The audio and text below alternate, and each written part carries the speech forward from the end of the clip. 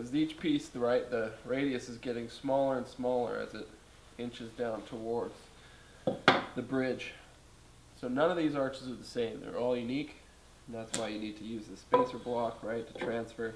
And then once I cut this piece out, I'll take this piece, cut it two and three quarters wide, and then I'll use this piece to transfer it onto the next piece because that radius will be even tighter. I know, it's just like mind-boggling how math works.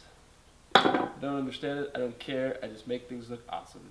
That's what I do. So, yeah, that's how you do those parts, and the rest, you can just figure it out.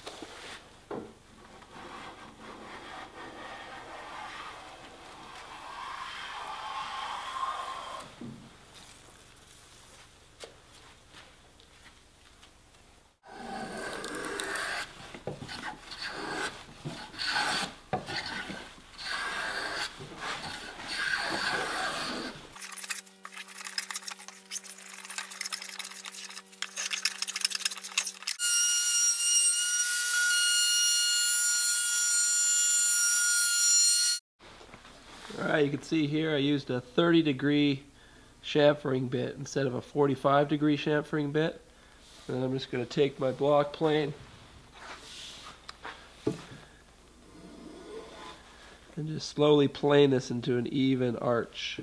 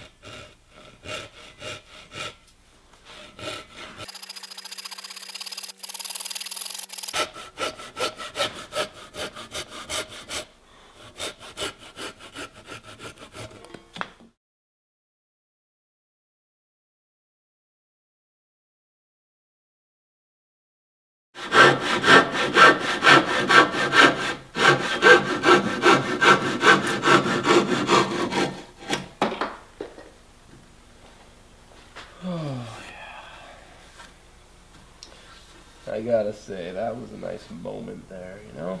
There's nothing like working in the wood shop with the sun coming through the door and watching it light the sawdust that comes off your saw. It's just like one of those God moments, you know? It's just everything is perfect. That's what we do it for, boys. Those perfect moments of woodworking pleasure.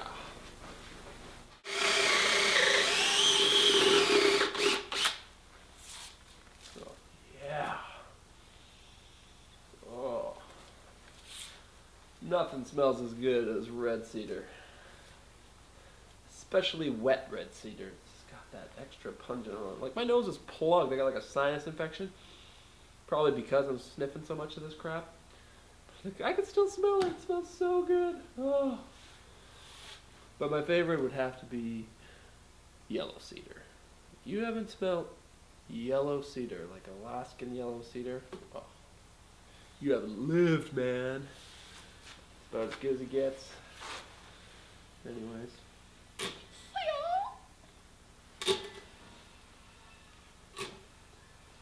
Yeah, I'm just making mortises out of uh, drilling them out with an inch and a half Forstner and paring down the edges with a Japanese chisel. And simple as that, you guys. Woodworking doesn't need all sorts of fancy tools, even though I do have them. Nothing like a sharp chisel on softwood.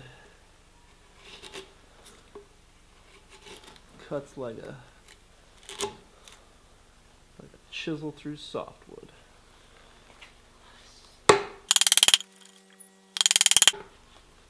Oh, love my life.